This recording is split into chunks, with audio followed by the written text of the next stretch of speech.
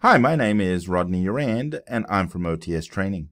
In this video, I'm going to show you how to view and manage sponsors and members of different Active Directory groups using the Group Management tool. Uh, so what is the Sponsored Group Management tool? This tool allows individuals to view very basic information about groups in Active Directory. Groups can be used for email, such as a distribution list, or to provide security, such as who can access a file share. Faculty and staff who are sponsors of groups will use this tool to maintain their group's membership and sponsors. To start with, you have to log into the tool. Visit towson.edu forward slash netid from your preferred browser and select Manage Sponsored Group Membership from the Faculty Staff NetID Tools section. Log in with your NetID and password. The Sponsored Group Management page loads. Here you can modify sponsors or members for one or multiple groups. To modify a single group, select the group hyperlink. The group details page appears.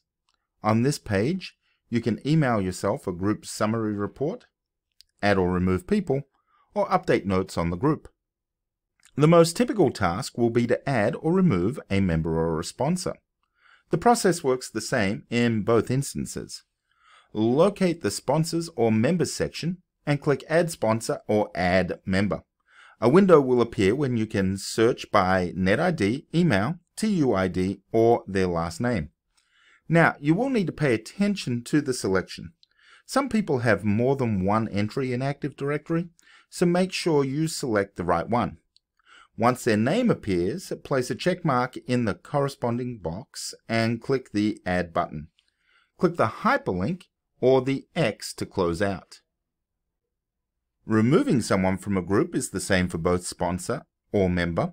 Click the Remove Sponsor or Member button and select the person you wish to remove from the group.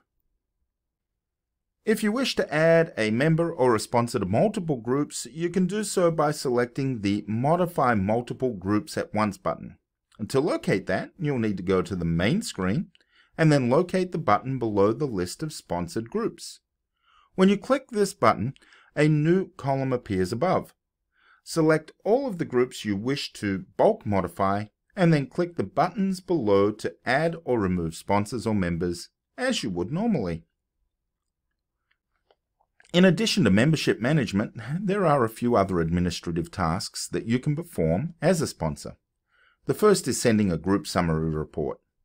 If you need a copy of every sponsor and member in your group, click the Send Group Summary Report button, and a report will be generated and emailed to an email address of your choosing.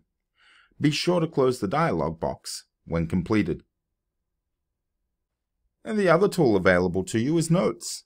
These come in handy when you want to detail activity within the group.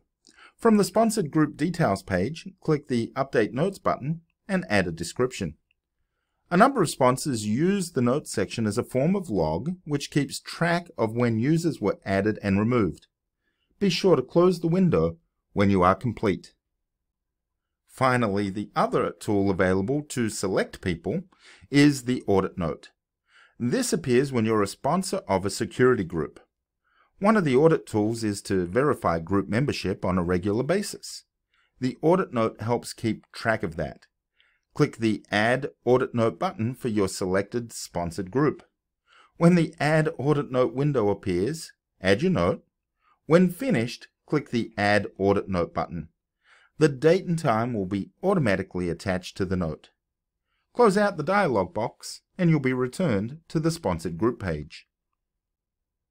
Thanks for watching. For more information, please visit towson.edu forward slash OTS training.